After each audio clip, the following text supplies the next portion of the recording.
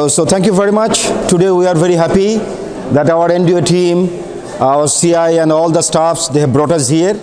And we are very happy to be in the Museum of Lahore. As we have been hearing from the Deputy Director, this is one of the oldest and biggest of Pakistan.